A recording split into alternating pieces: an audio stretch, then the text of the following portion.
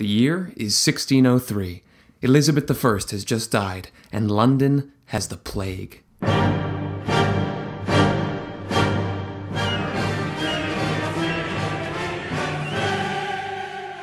Public gatherings have been banned, theaters have all been closed, and anyone that worked for them is out of a job. So, what is an ambitious young writer actor going to do? Oh, I know. You could make irrelevant YouTube videos in an oversaturated market. Sure, that's great if you're an idiot like me, but you're not. You're William Shakespeare, and you're a genius. And so when you're out of work, you write sonnets. Sometime around the year 1600, William Shakespeare wrote 154 sonnets that would comprise some of his best and most unusual work, and would offer us some of the most beautiful and poignant poetry in the English language. I'm Sam, and this is The Unweeded Garden.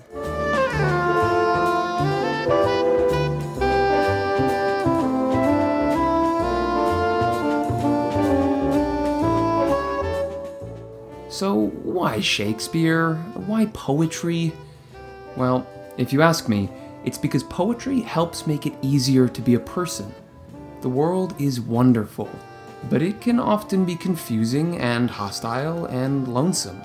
And making any kind of sense of life and how we feel in it can be difficult, especially when things get a bit awful. And although no one really has any answers when it comes to being a person, there is some comfort in being seen, knowing that what you're going through, someone else has gone through. And that's what makes Shakespeare great, because every emotion or experience, he seems to have been through it. And with the sonnets, we don't see a person who's cool and collected and who's got everything figured out. We see a strange, passionate, but confused individual who is burning with all the same desires and fears that every one of us has. And when he writes it, and we read it, we're with him. And everybody thinks he's so great, so must be pretty good. In order to explore Shakespeare's sonnets, we need to ask well, what is a sonnet? So, a sonnet is a poem. Specifically, it's a 14 line poem, and usually it's a 14 line love poem. They were originally popularized by the Italian poet Petrarch, who was writing them to his beloved Laura. But they were made extremely popular in England by one of those soldier scholar poet types from the Elizabethan era, Sir Philip Sidney. A sonnet has a pretty standard format. It's usually broken up into four sections. The first three sections have four lines each, and then it's followed by a section with only two lines each called a couplet. And it rhymes, because, you know, it's an old timey poem. It's unclear why exactly Shakespeare wrote the sonnets, but knowing Shakespeare was probably because he wanted money, and he knew how popular the sonnet form was. But as with everything Shakespeare did, it was never just a meal ticket. Shakespeare's sonnets had a very similar structure, because he was an artist who liked to steal. He wrote 154 sonnets, which was 1,846 lines. Now, just to give you a bit of reference, most of his plays are about 25 to 3,500 lines. The collection of sonnets that we have now was published in 1609, but they were definitely written before that. Some of them were written as early as 1593, and the structure is much like those that came before. It was broken up into four sections, the first three had four lines, and the couplet had two lines. Each stanza tended to rhyme with itself like in this one where shines rhymes with declines and dimmed rhymes with untrimmed. And they were written in iambic pentameter, which was the heartbeat of Elizabethan poetry.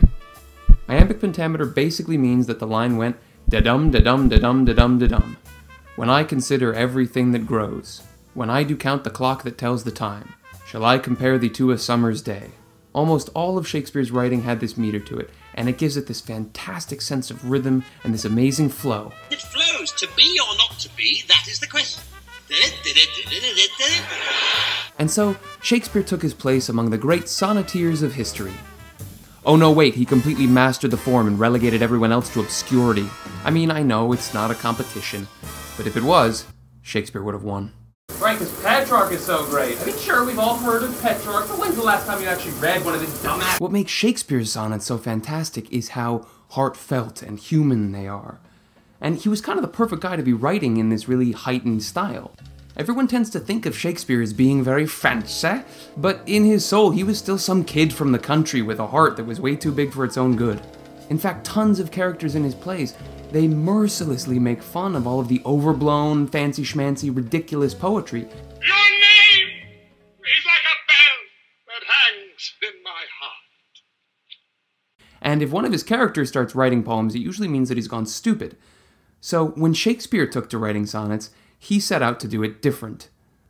For one thing, his predecessors, like Petrarch, they wrote about this perfect, divine, unachievable love. Petrarch wrote about his beloved Laura, even though he only ever met her once, which is interesting.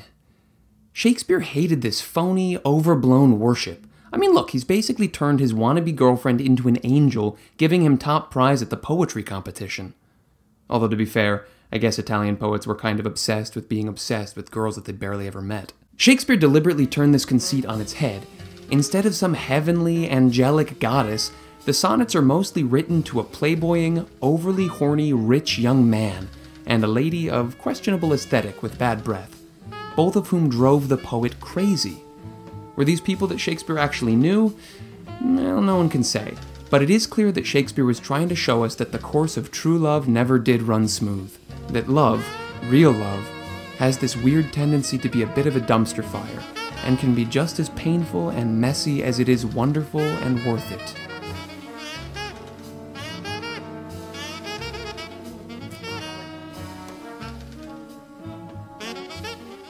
There are a few consistent characters in the sonnets, and since Shakespeare was a playwright, there's even something of a narrative or a story to them. In this series, I'm hoping to explore that story and help us find out what makes these poems so great. In the sonnets, there are four main characters the poet, who may have been Shakespeare writing autobiographically, or it may have just been a character of a poet, but probably not.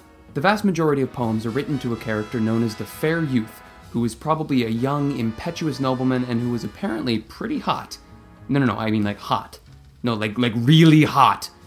Perfect. Then you also have the rival poet, who the fair youth occasionally likes better, and it drives the poet insane. And finally, the mysterious character known as the Dark Lady, She's described using a lot of images of darkness and blackness, so some scholars have theorized that the real person may have been of African descent, but nobody's sure about any of this. The sonnets go through something of a story, with various sequences on themes or on actions that happen between the characters. The first 126 largely feature the young man, with some of the rival poet popping in, whereas the last 30 or so focus more on the Dark Lady, and almost all of the poems speak about the difficulty and the beauty involved in these relationships. But the sonnets aren't just great because Shakespeare was super passionate. He was an incredibly intelligent writer and he knew how to use classical rhetoric to his advantage. Check out how he uses devices like anaphora, which is basically repeating the same word over and over.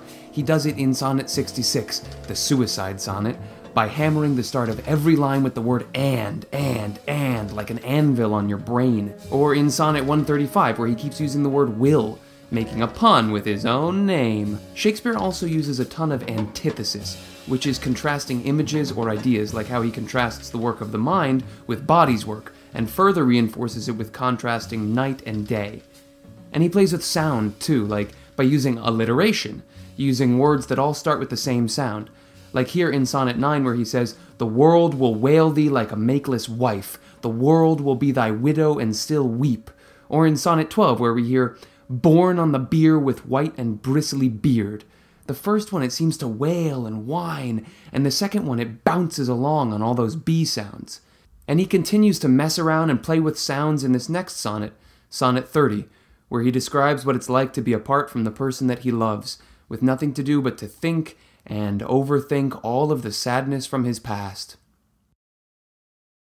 When to the sessions of sweet, silent thought, I summon up remembrance of things past. I sigh the lack of many a thing I sought, and with old woe new wail my dear time's waste. Then can I drown an eye, unused to flow, for precious friends hid in death's dateless night, and weep afresh love's long since cancelled woe, and moan the expense of many a vanished sight. Then can I grieve at grievances foregone, and heavily from woe to woe tell o'er the sad account of fore bemoaned moan, which I new pay, as if not paid before. But if the while I think on thee, dear friend, all losses are restored, and sorrows end. Sonnet 30 dives into a ton of themes that run all throughout the poems absence, the passage of time, loneliness, self doubt, and finding solace in the ones that you love. And we hear in phrases like grieve at grievances, woe to woe, fore bemoaned moan, how Shakespeare is elongating all of those pains and creating a whirlpool of sound to show how he's drowning in his own self pity. His themes aren't just those of courtly love and chivalric acts, he plunges straight into all kinds of real human experiences. There are sonnets about jealousy, about suicide, about despair, but also sonnets where he's shouting for joy or making jokes about horses or the church, or even totally unexpected sonnets about hermaphroditism or procreation. But more than anything, the sonnets are about love. For Shakespeare, that's what everything always finally came down to. And it is not a love that is always easy. For him, real love was complicated, fanatical, and occasionally very messy.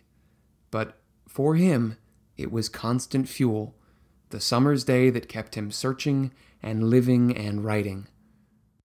I hope you enjoyed this video, and with any luck, I will soon figure out how to do them properly so that I can provide at least a decent tour through these incredible works.